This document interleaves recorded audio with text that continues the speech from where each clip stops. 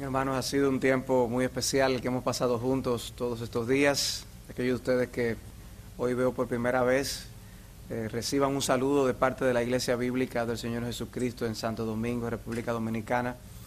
Los hermanos allí han estado orando por estas reuniones y ha sido ciertamente con una nota de, de regocijo que regresaré a dar reportes de las cosas que el Señor nos ha permitido hacer juntos.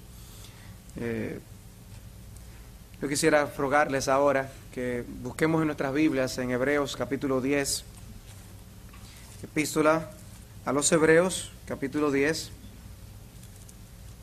Leamos los versículos 23 al 25 y luego tengamos un momento de oración. Hebreos 10, 23.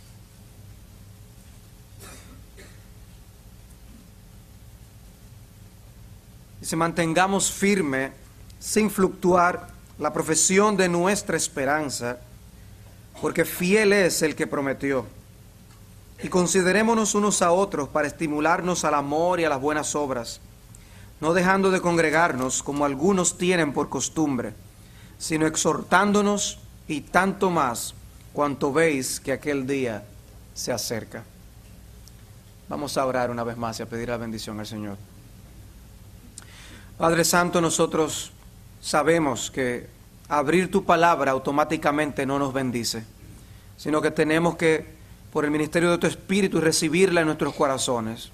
Te oramos, Señor, que quites todo impedimento que nos permita vernos en el espejo de tu palabra, todo aquello que pueda impedirnos ser hacedores de tu verdad.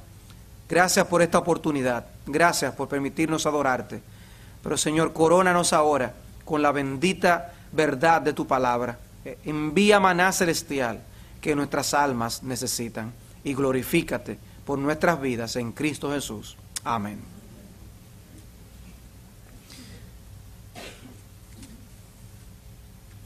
Pues aquí en esta sección que hemos leído juntos nos encontramos con una sección de la epístola a los hebreos en la que el autor empieza a derivar aplicaciones prácticas de las verdades que él ha estado enseñando en esta epístola. Él ha demostrado que Jesucristo es superior a todo, el excelente, el supremo. Y eso tiene implicaciones. Él está demostrando a judíos que estaban tentados a dar marcha atrás en su profesión de fe. Él ha demostrado que Jesucristo es aquel a quien tenemos que estar aferrados, por quien debemos beber, la esperanza en la que tenemos nosotros que descansar. Y habiendo demostrado que Cristo es el sumo sacerdote y el sacrificio perfecto, ahora trae respuestas prácticas de esa verdad. En el versículo 19, él dice así que hermanos, teniendo libertad para entrar en el lugar santísimo por la sangre de Jesucristo, acerquémonos con corazón sincero, en plena certidumbre de fe, purificados los corazones de mala conciencia y lavados los cuerpos con agua pura. Si esto es así, si Cristo murió y entró lugar, en el lugar santísimo celestial y nos ha permitido entrada a la presencia misma de Dios, aprovechemos esa oportunidad. Si es cierto que ahora podemos entrar a la presencia de Dios, ¿por qué no vamos? los judíos no podían entrar al lugar santísimo. No todos podían entrar al lugar santo. El sumo sacerdote podía entrar una vez al año y no sin sangre llenando todos los requisitos, si no, su vida corría peligro. Era por esto que era costumbre que ellos amarraran una cuerda a los sacerdotes cuando entraban allí, porque si les pasaba algo, a nadie se le podía ocurrir entrar a sacarlo, tenía que jalarlo. De manera que el tener acceso a la presencia de Dios hoy es un alto privilegio. Y el autor por eso dice así que, teniendo ese acceso, ¿por qué no lo usamos? ¿Por qué no aprovechamos el privilegio de estar en la presencia de Dios como debiéramos? Él también ha hablado de la esperanza tan grande que nosotros tenemos en Jesucristo. La esperanza segura, ciertísima, de que hay un cielo para nosotros. Y dice en el versículo 23, por tanto, mantengamos firme, sin fluctuar, la profesión de nuestra esperanza, porque fiel es el que prometió. Mantenernos confesando esa esperanza, profesando esa esperanza sin fluctuar, es algo que debemos dejar ver a los demás. de tal manera que los demás vean lo que creemos y la forma en que vivimos por lo que creemos, que nos pregunten la razón de la esperanza de fe que hay en nosotros. Que la, sea, la gente sea motivada, como dice Pedro, a cuestionarnos, ¿por qué tú vives así? ¿Por qué tú crees lo que tú crees? Y entonces aquí venimos a estas expresiones de los versículos 24 y 25, de un andar consistente con lo que nosotros creemos que debe ser la vida en comunidad de esos que tienen esa esperanza y esa convicción. Cierto pastor preocupado escribió una carta a un fabricante de aspirinas. Y él escribía de manera muy respetuosa, señor fabricante, usted ha hecho un producto que ha servido para tantas personas, alivia y resuelve dolores, y vemos que es una medicina que funciona con las personas los lunes, los martes, los miércoles, los jueves, los viernes y en especial los sábados. Es una medicina que funciona durante la semana. Las personas pueden tener dolor de cabeza, pueden tener alguna aflicción y sin embargo esta medicina les hace ir al trabajo. Pero los sábados también, de manera especial, que es el día que ellos toman para sí, el dolor de cabeza ni aquella molestia aquí y allá no les impide ir a jugar golf o ir a, la playa a hacer tal o cual determinada actividad. Pero tengo que decirle que su medicina no funciona los domingos. Las personas aparentemente no tienen remedio a cuando vienen estos dolores, es fácil que dejen de venir a la iglesia. ¿Podría usted añadir un ingrediente que funcione los domingos? Aquello que no es una excusa, día de trabajo o día de entretenimiento, se convierte en una excusa para reunirnos en el día del Señor. Y aquí vemos en Hebreos al autor tratando un problema que es viejo. No es de ahora que las personas dejen de congregarse o adquieran eso como una costumbre, que es lo que está enseñando este pasaje. Y yo creo que nuestra perspectiva de lo que es la iglesia y de lo que ocurre en la iglesia es algo que debe afectar lo que una persona hace con ella. Y a juzgar por la manera tan fácil en que una persona deja de venir a los cultos, o la forma casual en que una persona participa de los cultos, eso nos revela algo de la convicción que esa persona tiene acerca de la iglesia y lo que Dios hace cuando esa iglesia se reúne. Algunos piensan que ausentarse no es nada grave. Ellos no creen que sea algún delito. Quizás ellos no vieran la necesidad siquiera de que el Espíritu Santo inspirara versículos como estos para escribirlo a una iglesia local. ¿Por qué hacer tanto énfasis? Pero este texto nos dice que es algo de gran importancia y que para Dios tiene grande importancia. Evidentemente. El hombre moderno, dice alguien, adora su trabajo trabaja en su juego y juega en su adoración. El hombre moderno adora su trabajo. Con eso no come cuentos. Él sabe que los trabajos no están a la orden del día en la Florida. Y él adora su trabajo. Lo toma muy en serio trata de cumplir, puede perder su trabajo. Él adora su trabajo. Pero él trabaja en su juego. El entretenimiento y el juego se ha convertido en algo muy serio. Y él por eso trabaja en su juego. Y dedica tiempo, consideración y estudio.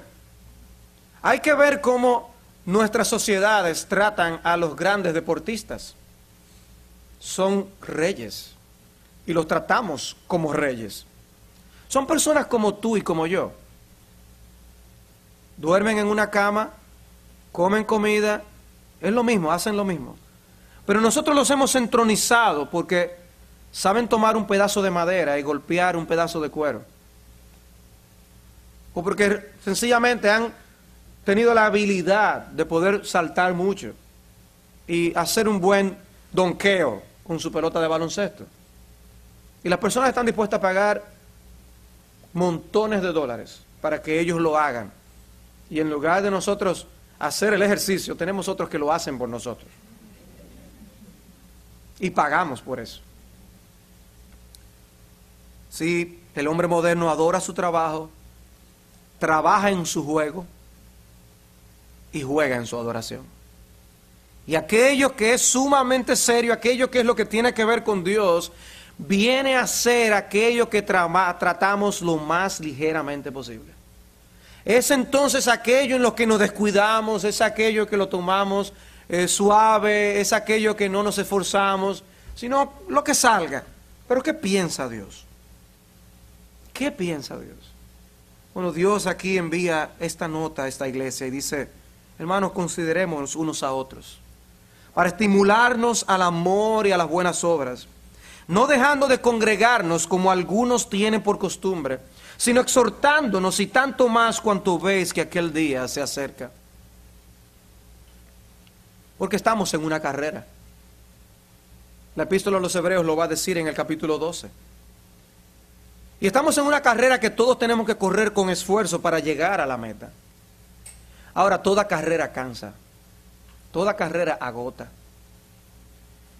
Pero cuando uno está corriendo en grupo, eso estimula. Eso estimula a grandemente. Ahora, si uno empieza a ver a gente desmayándose alrededor de uno, uno se preocuparía y podría hasta decir, yo voy a dejar de correr, no vaya a ser que yo me desmaye también. Pues cuando el ambiente es tomado ligeramente en las iglesias, es como transmitir y contagiar un espíritu de enfriamiento, de desinterés, de dejadez en las cosas tan serias que es la casa de Dios, la iglesia del Señor. Había cierto corredor que estaba participando en una carrera de relevo. Y el primer corredor salió, hizo una carrera a toda velocidad, con todo esfuerzo. El segundo salió, el tercero salió, el cuarto salió, pero a la mitad se detuvo y se sentó a mitad del campo.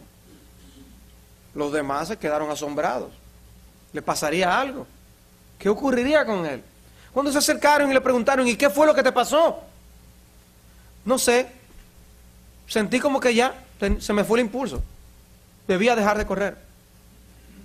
Obviamente fue una deshonra para los otros que habían corrido con todo esfuerzo.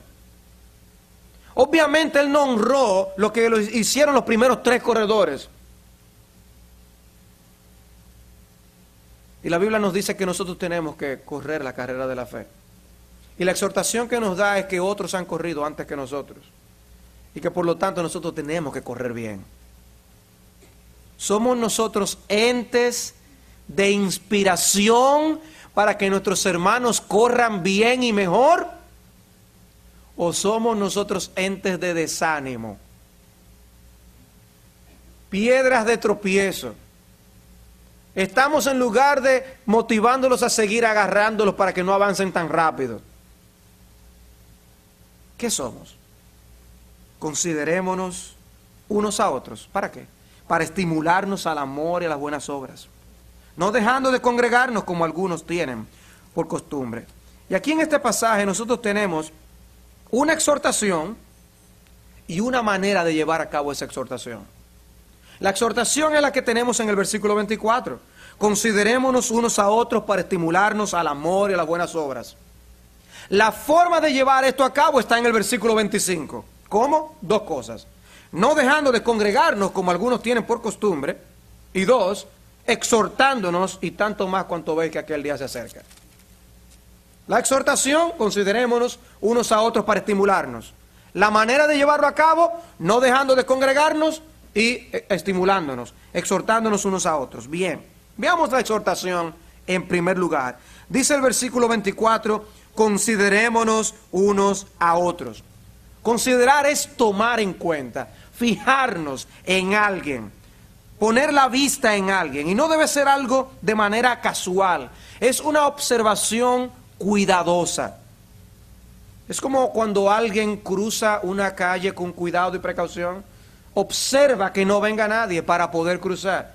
Aquí se nos pide que tengamos una mirada observadora.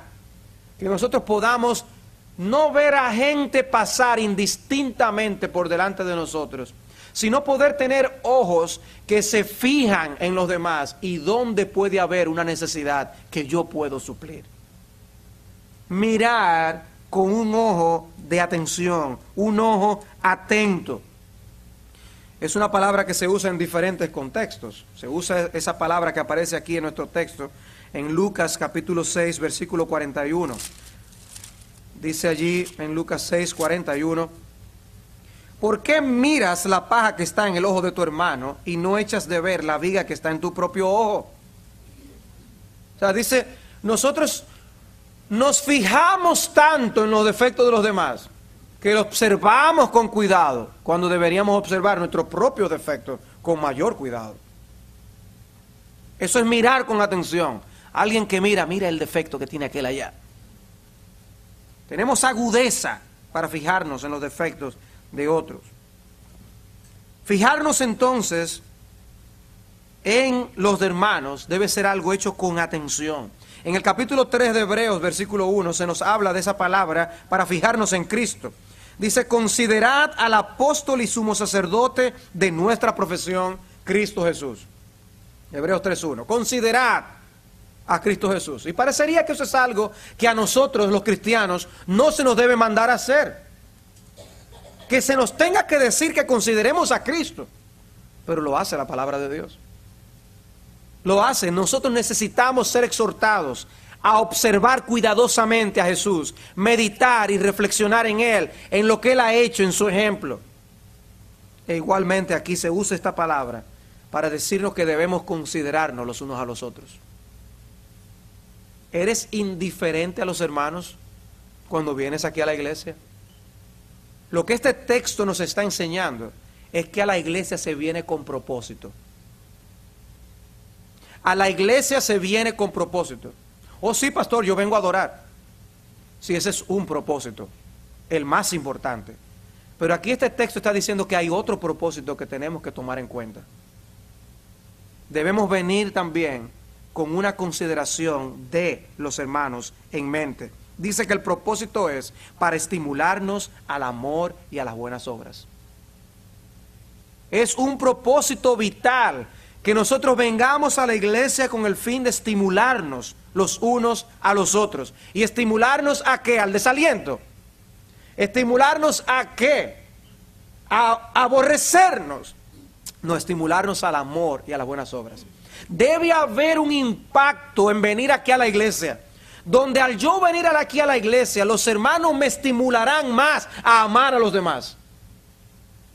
Donde yo venir aquí a la iglesia me estimulará a yo salir allá afuera a hacer las buenas obras que el pueblo de Dios está supuesto a hacer. Algo tiene que ocurrir que nos hará diferentes a las vidas egocéntricas y egoístas que el mundo está viviendo, donde cada quien piensa solamente en lo suyo. Dice, no, debemos venir también a empujarnos. Este es el lugar de nosotros recargar nuestras energías.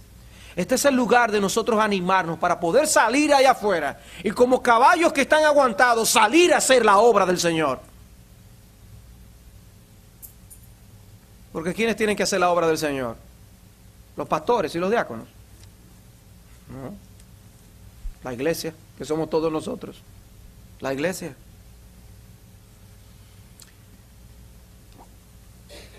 ¿Dónde está tu hermano? Le preguntaron a Caín. Y Caín dijo, ¿acaso soy yo guarda de mi hermano? En otras palabras, Dios esperaba que Caín cuidara de su hermano y en lugar de eso lo mató. ¿Acaso soy yo guarda de mi hermano? En un sentido somos nosotros guardas los unos de los otros. Considerémonos los unos a los otros. Debemos cuidar del estado espiritual de nuestros hermanos. Debemos estar atentos a las necesidades de nuestros hermanos, sus circunstancias, sus pruebas, sus tentaciones. Un contacto casual no va a permitir cumplir el propósito del que aquí se nos está hablando.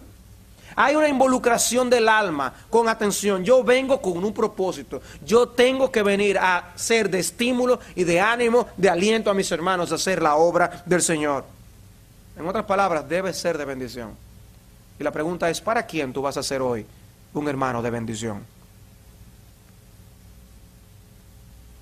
No es meramente nosotros hacer chistes y hacer reír a las personas.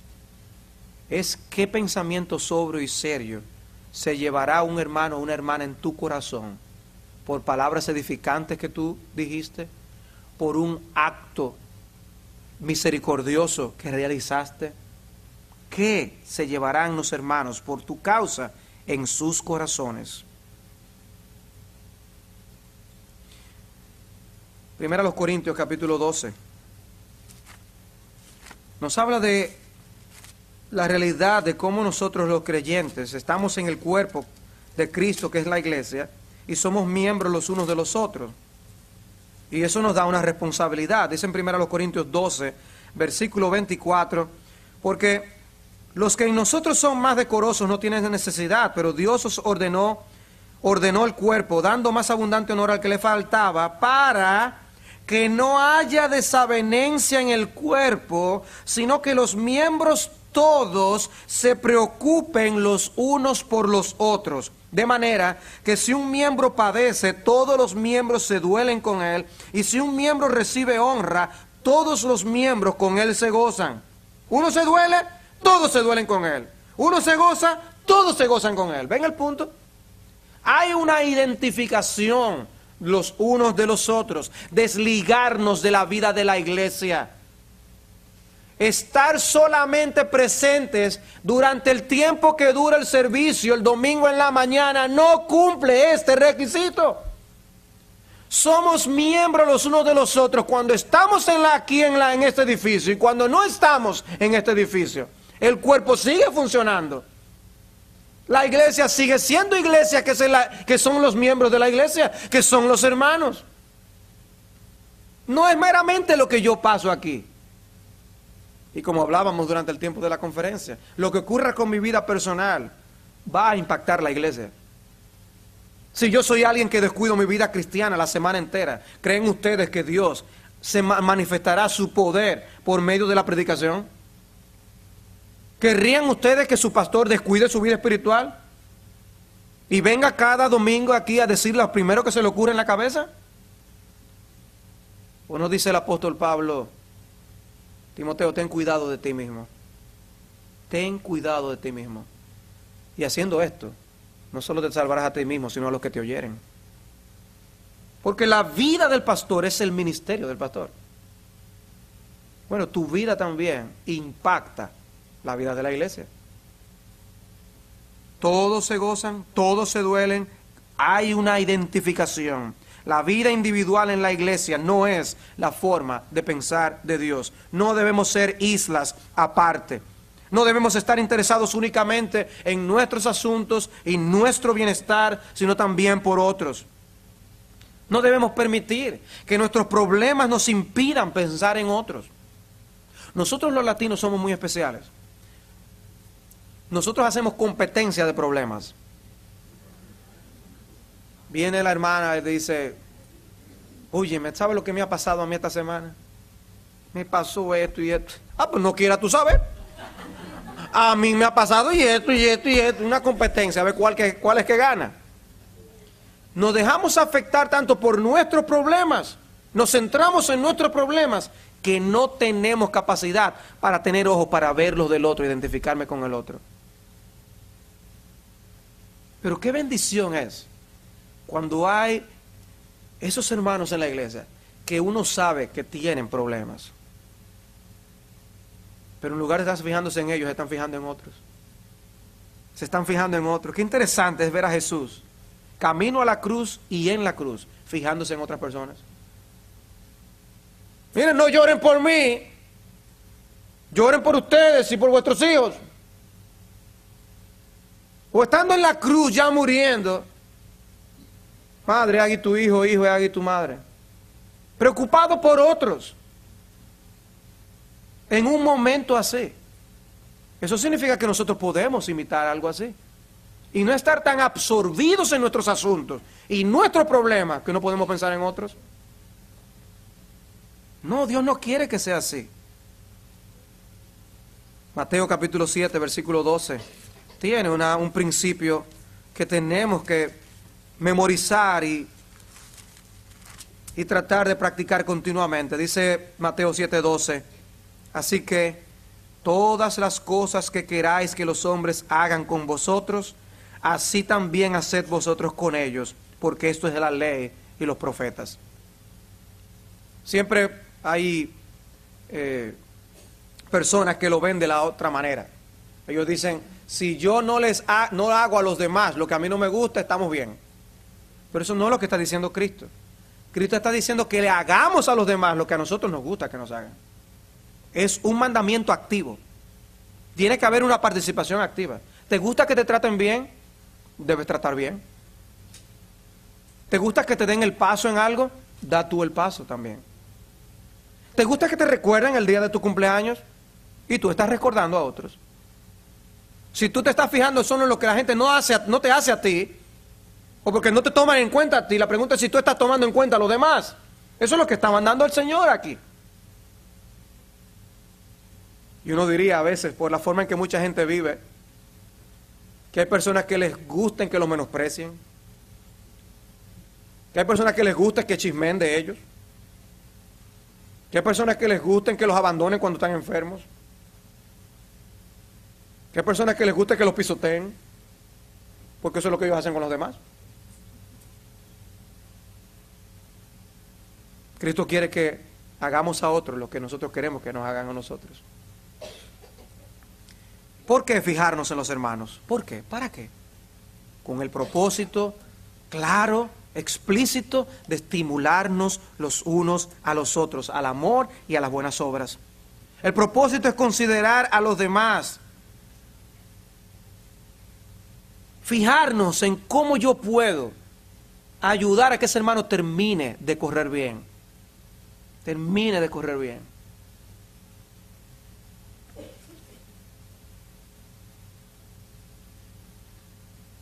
Recuerdo corriendo una carrera, llegando casi al final, las energías me faltaban. El estilo ya había cambiado, completamente agotado. No podía levantar mucho las piernas, pero un corredor de experiencia se devolvió de la meta para estimular a los corredores que estaban a punto de llegar. Y hubo alguien que se puso a mi lado y fue corriendo conmigo. Vamos, levanta las rodillas, levanta las piernas, que tú puedes. Y fue por el estímulo de esta persona que terminé con mucho ánimo hasta el final. ¿Qué somos nosotros en medio de la carrera de la fe? ¿Aquellos de los que nos burlamos de los que están corriendo o los que damos inspiración? Porque uno oye de todo. A mí me han dicho de todo corriendo. Me han dicho, viejito, no lo cojas tan en serio que te vas a morir. Eso no es estimulante, ¿verdad que no? Pero otros sí dan palabras de aliento que ayudan a uno a seguir hasta el final. ¿Qué tú estás haciendo? ¿Quitando el estímulo de los que están corriendo en la carrera? o animándoles a que sigan hacia adelante hasta llegar a la meta? ¿En qué sentido sirves tú? No seamos máquinas de reprensión y desánimo. Debemos ser máquinas de alentar a los hermanos. Mi contacto con otros es de estímulo para los demás. Es de estímulo para que los demás amen más. Porque sin amor lo que podemos, lo que hacemos es nada, dice el apóstol Pablo. Viene a ser nada. Yo puedo dar todos mis bienes y dar a los pobres. Y si es sin amor, dice, de nada sirve. Yo puedo dar mi cuerpo para ser quemado y sin amor de nada sirve.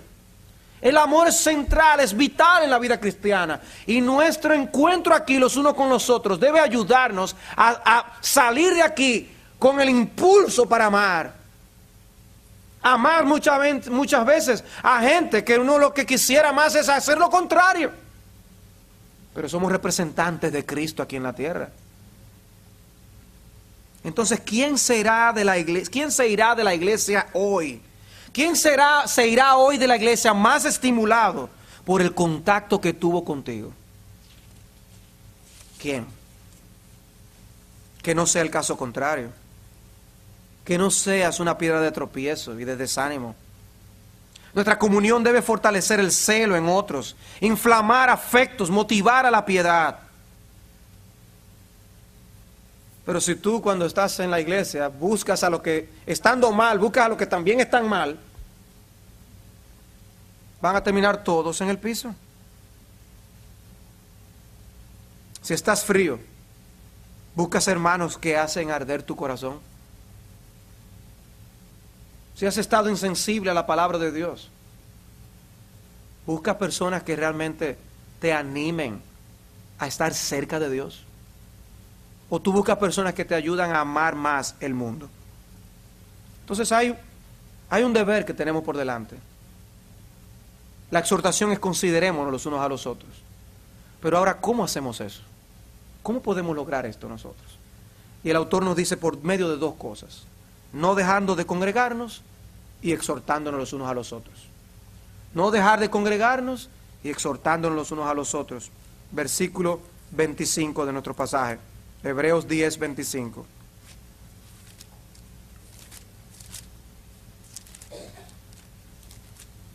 Dice, no dejando de congregarnos como algunos tienen por costumbre, sino exhortándonos y tanto más cuanto veis que aquel día se acerca.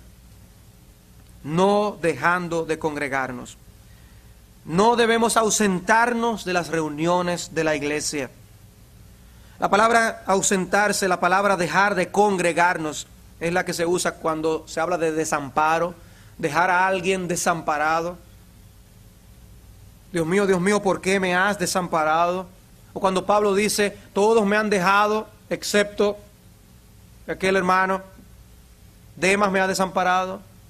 O cuando el Señor dice en Hebreos capítulo 13, versículo 6, no te dejaré ni te desampararé. Ese es el término que aquí dice. Es como si nosotros estuviéramos abandonando algo.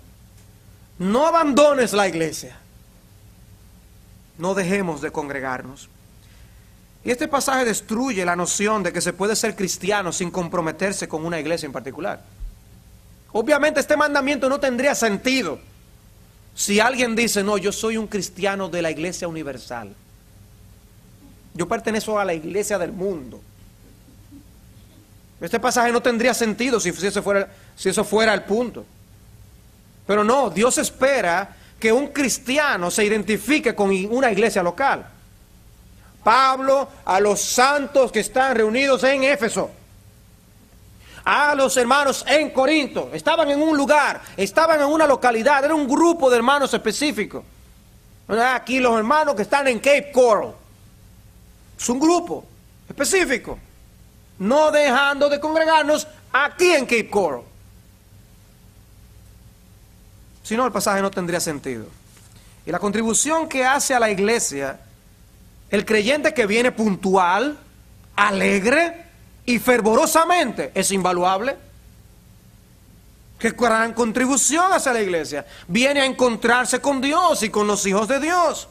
Pero qué contraste con los que llegan tarde, que ocupan un asiento y no parecen esperar que ocurra nada en la iglesia. Que uno hasta se pregunta, ¿oraron ellos para que ocurriera algo aquí en la iglesia? Porque ellos no esperan que ocurra nada. Sin embargo, hermanos, ¿cuántas cosas pueden ocurrir en nuestro encuentro los unos con los otros? ¿Cuántas cosas pueden ocurrir? Puede ocurrir que una, venga un pecador y por primera vez tenga un encuentro con Jesucristo. Y a nosotros eso debe llenarnos de esperanza y anticipación. Algo puede pasar en este lugar, que uno de nuestros hijos se salve. Algo puede pasar en que alguien que tenga una convicción desordenada en la mente una creencia que es desvirtuada conforme al modelo de la palabra de Dios, por fin abra los ojos y pueda decir, ya lo entiendo. Eso puede pasar un día aquí. Y tú irte gozoso a tu casa. Lo entendí, lo entendí. Como me explicaba un pastor amigo, que cuando entendió una doctrina de las escrituras, estaba estudiando solo la palabra de madrugada y fue su gozo tan grande que llamó a la familia y lo despertó. ¿Qué fue? Esto que encontré, esto, encontré esto. Bueno, eso puede ocurrir en un servicio de adoración. Entonces, grandes cosas pueden pasar aquí. ¿Venimos con anticipación? ¿O no esperamos que ocurra nada? Dice un autor, señales de debilitamiento de los lazos de la comunión cristiana como consecuencia de una deficiencia en el amor que debería unirnos, resultando en una disminución de aquellas obras compasivas por las cuales el amor cristiano es expresado. Eso es lo que está en evidencia aquí.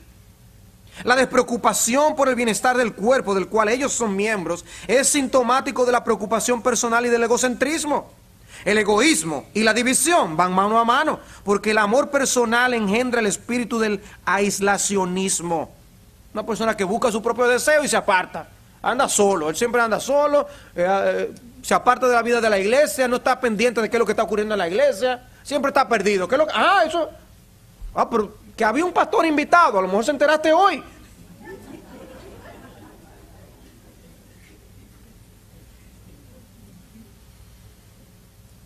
Dice el autor de Aquel que no ama fervientemente a sus compañeros cristianos de corazón no siente la necesidad imperiosa de asociarse con ellos. De hecho, la autenticidad de la profesión cristiana de un hombre en este estado debe ser seriamente cuestionada, porque los que son uno en Cristo no pueden sino amarse los unos a los otros. Ese individualismo, aislacionismo es una evidencia de que realmente Cristo no está obrando vida corporal no lo ha introducido en la iglesia de Cristo. Y se evidencia en el hábito de ausentarse de los cultos de la iglesia. Por una despreocupación de los demás creyentes. Y una despreocupación por Cristo a sí mismo. ¿Recuerdan ustedes ese pasaje cuando Pablo está persiguiendo a los cristianos? ¿Qué les dice el Señor?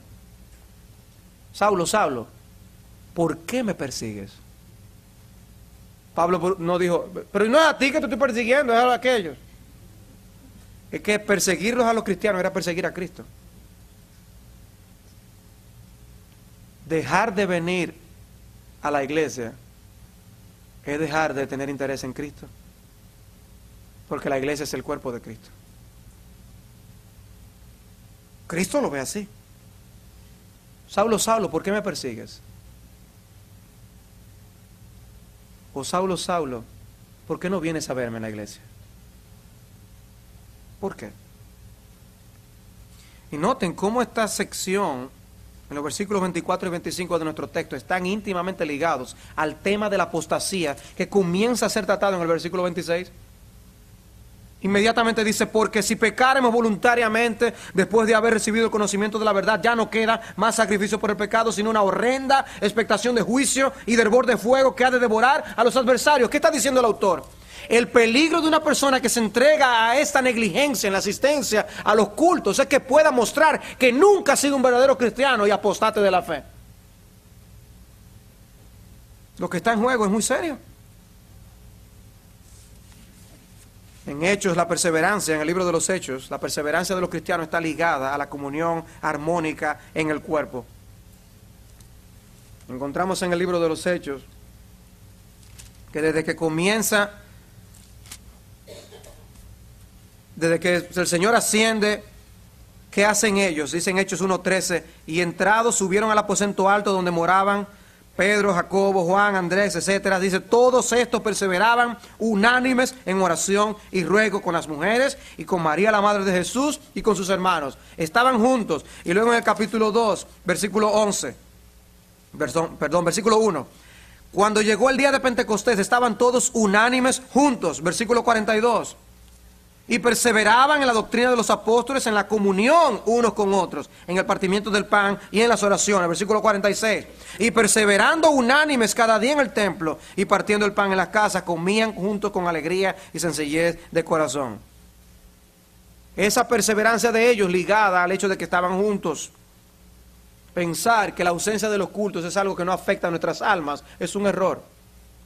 Ausentarnos tiene consecuencias. Los hermanos llegaron a reunirse en condiciones difíciles de persecución. Y la razón por la que los hermanos cristianos dejan de congregarse no es por el peligro de ser echados a los leones. ¿Por qué dejaste de venir a la iglesia? Eh, no son a veces excusas que uno puede decir que sean válidas, ¿verdad que no? En la mayoría de los casos son razones indignas, son razones vergonzosas. Cuando en otras partes del mundo hay de nuestros hermanos que se congregan en ambientes peligrosos. Esta experiencia viví yo en China. Había una iglesia que se congregaba en un lugar por las mañanas, en otro lugar por las tardes. Y allí estaba yo con aquel pequeño grupo de cristianos en medio de un, en, un apartamento. Ellos no pueden llegar todos juntos y cuando se termina el servicio se van en grupo para no llamar atención sobre ellos.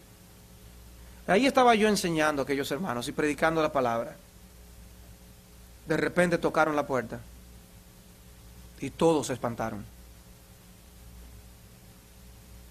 El misionero que estaba allí se paró y se fue a otro lugar.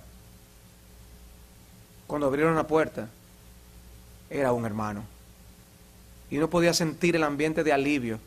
Ah, respiraron. Así se reúnen allá. Así se reúnen ellos allá. Y se reúnen mañana y tarde. En un ambiente de riesgo y de peligro. A mí me podía costar la deportación, pero a ellos le implicaba cárcel. Y más teniendo un extranjero enseñándole la palabra de Dios. ¿Y nosotros por qué razón dejamos de congregarnos? ¿Qué nos dirían esos hermanos chinos a nosotros si ellos ven que menospreciamos las oportunidades que tenemos de reunirnos? No, yo solamente voy el domingo por la mañana, porque eso es suficiente. ¿Qué nos dirían esos hermanos chinos si ven que nosotros, para nosotros ausentarnos, yo soy del domingo de la mañana, ya con una vez basta y sobra? Y ellos aprovechando la mínima oportunidad que tienen de poder reunirse en medio de situaciones peligrosas y riesgosas. Hermanos, el amor promueve la comunión y al mismo tiempo la comunión promueve el amor. Es una maquinaria que va funcionando. Por amor nos reunimos y nos reunimos para seguir amando. Es una maquinaria que mantiene la iglesia en funcionamiento. Y nos necesitamos por eso los unos a los otros. Y tengo este pensamiento para vuestra consideración. Si Dios impone peso y seriedad sobre el asunto de la asistencia a los cultos, en base a nuestra relación con los demás hermanos para estimularnos al amor y a las buenas obras, ¿cuánta mayor importancia no tendrá el asistir a los cultos por nuestra relación con Dios mismo? Si para Dios es importante que estemos aquí por los hermanos, es más importante estar aquí por Dios mismo. Y si es señal de decadencia espiritual descuidar los cultos por razón de los hermanos, no será una mayor señal de decadencia espiritual si lo evaluamos a la luz del hecho de encontrarnos con Dios mismo en adoración. Es un pecado faltar injustificadamente a la iglesia cuando sabemos que hubo una cita hecha entre Dios y nosotros de encontrarnos aquí. Hermanos, ¿cuál es la corona de nuestras reuniones? Dios es la corona de nuestras reuniones. Dios es la razón de ser de nuestras reuniones máxima. Dice Cristo en Mateo 18, 20, donde están dos o tres reunidos en mi nombre, allí estoy yo en medio de ellos. Allí estoy yo en medio de ellos. Lo que nosotros hacemos realmente no tiene nada de especial. Cantamos, leemos, oímos la palabra. En sí mismo lo que hacemos no tiene nada de especial. Lo que es especial es que Cristo está aquí. Eso es lo que hace que nuestros cánticos sean especiales. Si van dirigidos a Él, gloria a Cristo. Porque solo en Él descansa mi alma. Ahí cobra sentido. Cobra sentido leer la palabra. Si es que yo sé que es Dios que me está hablando. Ahí cobra sentido. Y esto no es cierto solamente sobre las reuniones de adoración, también podemos incluir los cultos de oración. Cuando buscamos el rostro de Dios en oración, ¿cómo llamó Cristo al templo? Ustedes recuerdan, dice casa de oración. Casa de oración. Dios considera su iglesia casa de oración. ¿Dónde está ese celo? Porque Cristo decía en ese contexto de Juan capítulo 2, el celo de tu casa me consume. ¿Dónde está ese celo hoy? ¿Dónde está ese celo? Dice un autor, John Murray, hay personas que le están concediendo un gran favor a la iglesia de Dios cuando la honran con su presencia.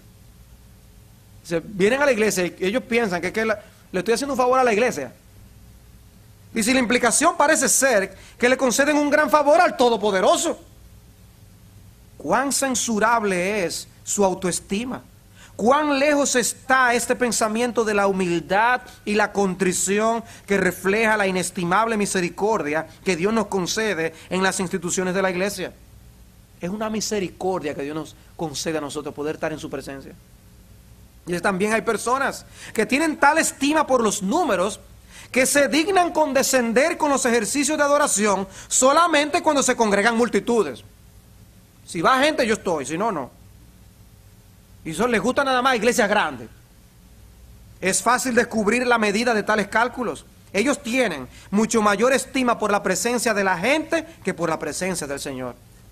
Si hacemos, los, si hacemos de los números el asunto, entonces perdemos por completo el significado de este texto. Porque dice, si solo dos vinieran a la adoración del Señor, sería un insulto grave a la adoración del Señor, suspender el servicio por la pequeñez de la asistencia porque Dios está ahí. Donde hay dos reunidos en el nombre del Señor, ahí siempre hay tres. Y el tercero no es nada más y nada menos que el Señor de gloria. Entonces, donde está el Señor, ahí hay una reunión importante. Hay una reunión importante. Nosotros decimos amar a Cristo. Y si nos ausentamos injustificadamente, algo raro está ocurriendo en el corazón.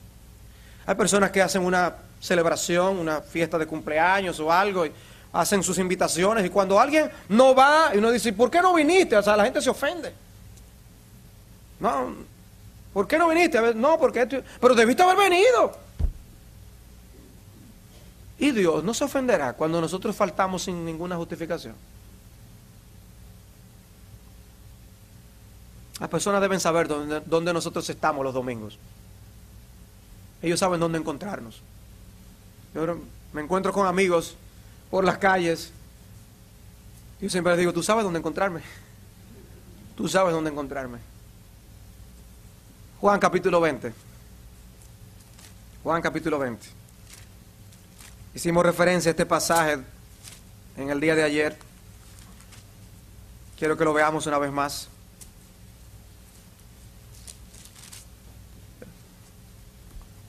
Después de Cristo resucitar, Él se aparece a sus discípulos. Y dice en Juan capítulo 20, versículo 19, cuando llegó la noche de aquel mismo día, el primero de la semana, estando las puertas cerradas, en el lugar donde los discípulos estaban reunidos por miedo de los judíos, vino Jesús y puesto en medio les dijo, paz a vosotros. Y cuando les hubo dicho esto, les mostró las manos y el costado, y los discípulos se regocijaron viendo al Señor. Vino regocijo a estos hermanos. Ellos tuvieron el privilegio de tener un encuentro con Jesucristo. Luego, vemos en la historia más adelante en el versículo 24 que había alguien que había estado ausente. Tomás. Tomás. Y dice el comentarista Juan Carlos Rael que es difícil uno evitar la sospecha de que Tomás no estuvo allí pudiendo haber estado. Dice, uno lee la historia y da la impresión de que él debió haber estado allí, pero no estuvo. Y sea por una causa justificada o no, se perdió la bendición. Se perdió la bendición. Pero los hermanos que sí estuvieron, hicieron algo que nosotros también tenemos que hacer. Tratar de compartir con los que no están las bendiciones que Dios nos da. Y por eso dice en el versículo 25, le dijeron pues los otros discípulos, al Señor hemos visto. Y ellos les compartieron lo que vieron. él les dijo, si no vieren en sus manos la señal de los clavos, y metiere mi dedo en el lugar de los clavos, y metiere mi mano en su costado, no creeré. Ocho días después, estaban otra vez sus discípulos dentro, y con ellos Tomás. O sea que Tomás duró ocho días más de incredulidad por no haber estado donde Cristo estaba. Por no haber estado donde Cristo estaba. Ocho días más de incredulidad. Dice, llegó Jesús, estando las puertas cerradas, y se puso en medio. Y les dijo, pasa a vosotros. Luego dijo a Tomás, mm, ¿no es interesante esto? Inmediatamente trata con Tomás. Inmediatamente observamos que el Señor notó la ausencia de Tomás en la otra reunión. Dijo, Tomás, ven acá. Pon aquí tu dedo y mira mis manos y acerca tu mano y métele en mi costado y no seas incrédulo, sino creyente. Entonces Tomás respondió y le dijo, Señor mío y Dios mío. Jesús le dijo, porque me has visto, Tomás, creíste. Bienaventurados los que no vieron y creyeron. ¿Es la incredulidad un pecado o no lo es? Tomás duró ocho días más en pecado por no estar donde Cristo estaba. Cuando nos ausentamos injustificadamente de la iglesia, estamos dejando de estar en el lugar donde Cristo está. Si tú vienes solamente los domingos por la mañana y no vienes el domingo en la tarde, tú no estás menospreciando al Cristo que también está en la tarde. Y que trae una bendición en particular es en ese servicio y no en otro. Porque lo que Dios hace en un servicio no lo tienen que hacer en otro. En otras palabras, no deje que te cuenten, vívelo. No, de, no permitas que te lo cuenten, vive la presencia de Jesucristo. Porque lo que te puedes perder en tu ausencia no solamente revela el menosprecio hacia el Señor y hacia su pueblo, sino que también puedes perder una gran y enorme bendición. Entonces, observamos cuán frágiles somos nosotros. Que la Biblia dice que nosotros nos necesitamos los unos a los otros. Que tenemos que venir a la iglesia a estimularnos. Piensa, es porque somos frágiles. Dios entiende que nosotros necesitamos que los hermanos nos ayuden y nos den un empujón. Dios entiende que la exhortación del hermano es vital para mi perseverancia en la fe. Y para yo continuar haciendo las buenas obras que debo hacer. Necesitamos a los hermanos. Entonces, ¿eres tú uno de los que tienen esa mala costumbre de dejar de congregarte? ¿Eres tú puntual? ¿Eres puntual? Somos puntuales con las cosas que nos importan. ¿Eres puntual con la iglesia? Sino que revelas. Y si todos fueran impuntuales, ¿a qué hora comenzaría el servicio? Si todos fueran igual que tú, ¿a qué horas llegarían? Y el predicador puede llegar tarde también.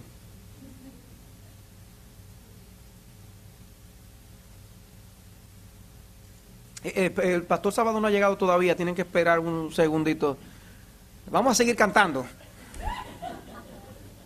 ¿Ustedes se imaginan? Pero no solamente tenemos que estar presentes en el servicio, es importante la actitud con que venimos al servicio. La actitud también. No podemos asistir a los cultos de la iglesia con cualquier actitud y esperar que de todas formas la gracia y la bendición del Señor vendrá y se manifestará. No. Por eso yo me alegré con los que me decían, vamos a la casa del Señor. Hay una actitud. Dice que debemos entrar por sus puertas con gratitud, con acción de gracias y regocijo. Hay una actitud que debemos traer al servicio. Mirad cuán bueno es que los hermanos habiten en armonía juntos, porque allí envía Jehová bendición y vida eterna. Hay una actitud que acompaña mi presencia. De manera que estar presente no es lo único necesario. ¿Con qué actitud venimos? Entonces cuidémonos del pecado de estar presentes como si no lo estuviéramos. Eso es posible. Estar presente como si no lo estuviéramos. A usted a veces no le da curiosidad, a mí como predicador me da. ¿Qué le está ocurriendo a las uñas de algunas personas? Bueno, yo estoy aquí hablando y a mí me da curiosidad porque debe ser algo muy importante.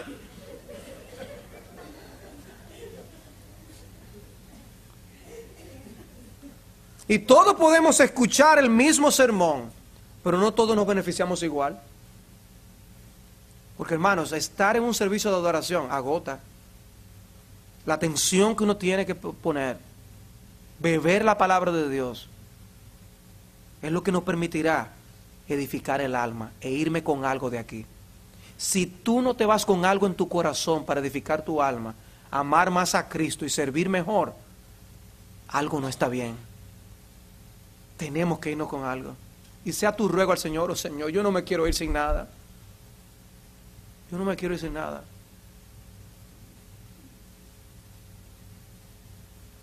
Hay una ilustración de un pastor que, que estuvo predicando en una iglesia y tenía una persona visitando y otro le preguntó que no estuvo ahí, de, ¿de qué predicó el pastor hoy? Del pecado. ¿Y qué dijo? Parece que estaba en contra.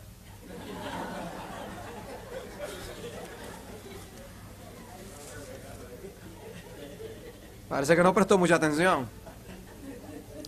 Pero no solamente debemos estar presentes, no solamente debemos tener cuidado de, no dejar de, de no ausentarnos, debemos exhortarnos los unos a los otros, dice el texto. Estar presentes y exhortarnos los unos a los otros. Venir a la iglesia no se trata únicamente de adorar a Dios. También venimos a encontrarnos con nuestros hermanos. Encontrarnos con los hermanos no es lo principal, pero es un propósito importante. Todos estamos llamados a esto. Y el asunto es, nota la gente cuando peca en esta área de no ser un instrumento de, de exhortación. La gente se da cuenta de ciertos pecados, pero hay otros pecados que ni cuenta se da. ¿Has estado tú consciente del pecado de no haber sido un instrumento de exhortación para otro? ¿Alguna vez tú le has pedido perdón a Dios por no ser un instrumento de exhortación? Ven hermanos que es un pecado que no confesamos, que a veces ni nos cuenta nos damos que nos estamos cometiendo. Dios espera que nos exhortemos los unos a los otros. Bueno, Pablo escribe a los tesalonicenses, les enseña acerca de la segunda venida de Cristo, pero no lo estaba dando como una mera clase de teología. Dice en el versículo 18 del capítulo 5, por tanto, alentaos los unos a los otros con estas palabras.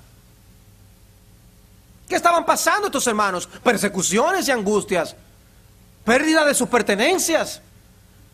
Créanme que en países donde hay persecución como en China, oh cuánto aprecian estos hermanos la bendita promesa de la segunda del, venida del Señor. Pero nosotros pareceríamos a veces como si quisiéramos permanecer aquí para siempre. Todavía no, Señor, que quiero hacer todavía algunas cosas más. No venga, Señor, que todavía no tengo mi casa. No, hermanos, la esperanza principal es el cielo. Ojalá que venga hoy. Ven, Señor Jesús. Sí, ven, Señor Jesús. Ven pronto, eso debe ser el anhelo de nuestro corazón. Ya no más lidiar con el pecado. Y dice Pablo, alentaos los unos a los otros con estas palabras. Ve donde ese hermano que tú sabes que tiene palabras de aliento. Mi hermano, pero hacia adelante que Cristo vuelve pronto. Nuestros sufrimientos terminarán. Ha sido bueno oír a Johnny Erickson Tada a veces, la hermana que está en una silla de ruedas, no sé si saben quién es.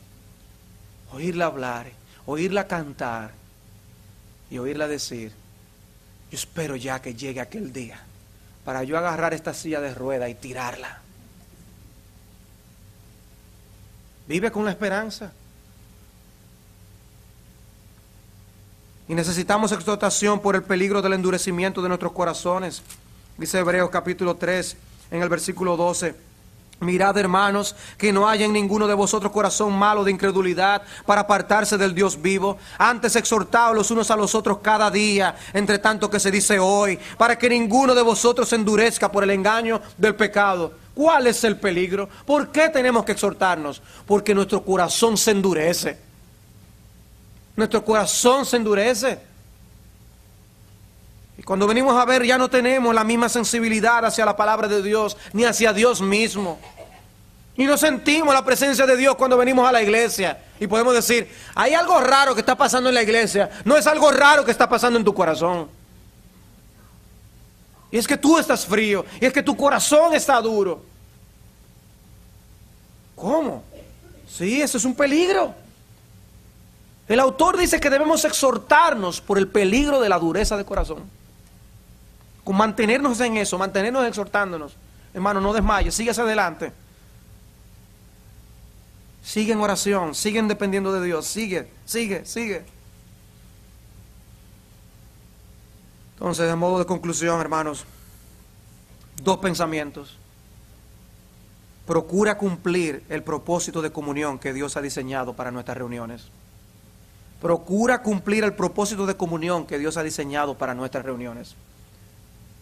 ¿Para qué nos reunimos? Para estimularnos al amor y las buenas obras para exhortarnos los unos a los otros. Tener más consciente esa meta. Y en segundo lugar, busca la razón de tu enfriamiento espiritual en tu ausencia de la iglesia o en tu indiferencia en nuestras reuniones.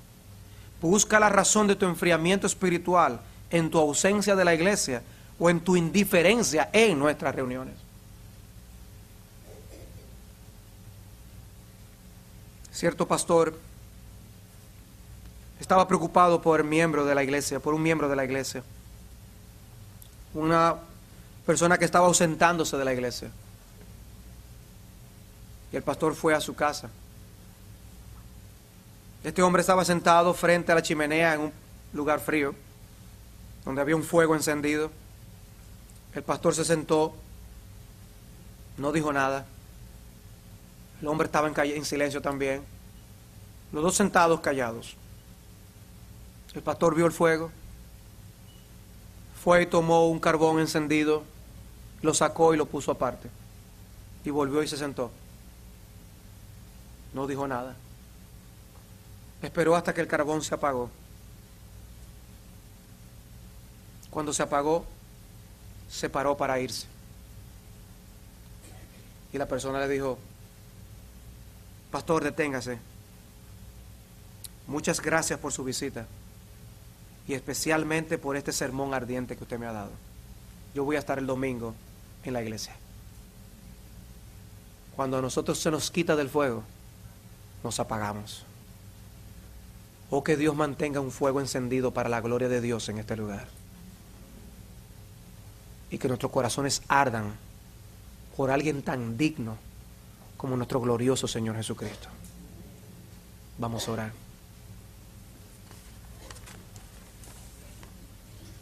Señor y Padre nuestro, nos avergüenza ver que tú tienes que dar directrices tan explícitas en tu palabra para nosotros mantenernos en tus caminos. Nos avergüenza, Señor, saber que en nosotros está el potencial de mucho mal, de enfriarnos, de pecar contra ti y aún pensar todavía que estamos bien. Te damos gracias por los medios que tú has diseñado para mantenernos en la fe. Te damos gracias por la iglesia. Y te damos gracias por hermanos fieles que ministran a nuestros corazones. Ayúdanos a nosotros a ser fieles. A ser fieles a ti. Y siendo fieles a ti, a ser fieles a las almas de los hermanos. Ayúdanos, Señor, a perseverar en bien hacer. Y concédenos el privilegio, Señor de poder vivir para tu gloria. Es en el nombre de nuestro Salvador que te lo pedimos. Amén.